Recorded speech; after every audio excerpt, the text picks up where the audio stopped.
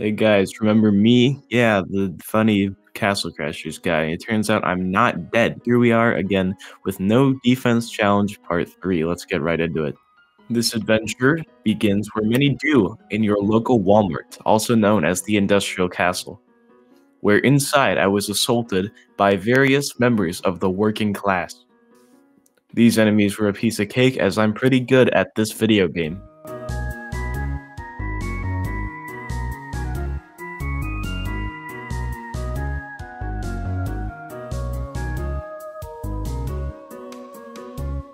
The traps were also easy to avoid as I've done this a few times already. And they're still not that bad even if this was your first playthrough. This level was pretty enjoyable to play as it is every time I do a playthrough on it.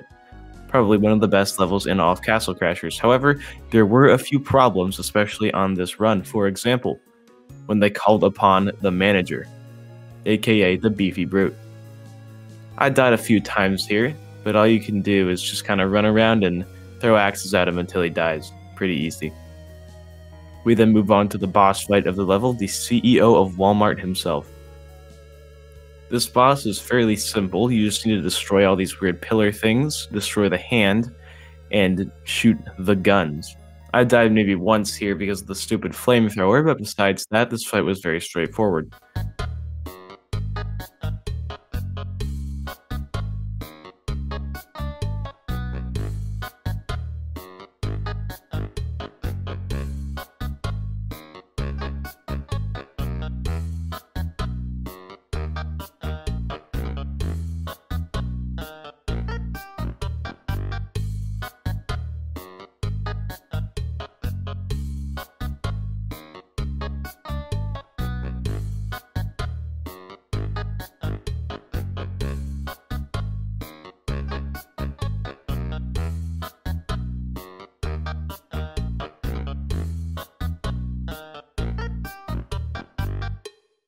After defeating the giant robot, I proceeded onto the balcony where I killed the Industrial Prince in the most embarrassing way I know how. Now, with all three ambiguous metal objects in my possession, it was time to sail the waves of the seven seas. However, on my peaceful, calming trip, I was interrupted by a gang of hooligans who wanted to steal my spices from my very back. However, thanks to my knowledge of the castle doctrine, they were sentenced to a watery grave for eternity. This is also one of my favorite levels. It's short, it's sweet, and it doesn't feel overcomplicated. 10 out of 10 would play again.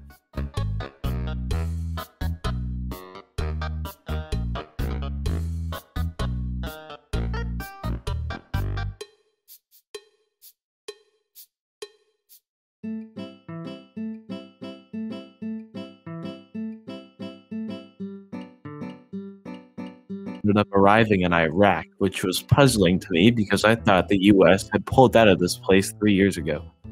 Oh well, I'm here now, so I might as well pillage and conquer while I have the opportunity. I introduced many insects to the butt of my hammer and talked to some locals. And some more locals, and a few more. This level has too many enemies, I also stopped by to kill some non locals, aliens. After being abducted by these aliens, I cleverly escape my laser prison and make a dash for the nearest exit after sabotaging the control panel. Now I hear you asking, will he make it? Will he survive? Well, you'll just have to find out on the next episode of the No Defense Challenge. Please leave a like and subscribe we are 105 subscribers away from me making money on my videos, so I'd really appreciate it. Thank you for 900 subscribers. I don't know why you guys subscribed while I was, you know, on a two month break, but, you know, I appreciate it. Here's some top comments from last video. If you'd like to be featured in the next video, please leave a comment and subscribe, and you might be in the next one. If you'd like to suggest videos, please join the Discord. Link is in the description. And with all that being said, I'll see you guys in the next one. Goodbye.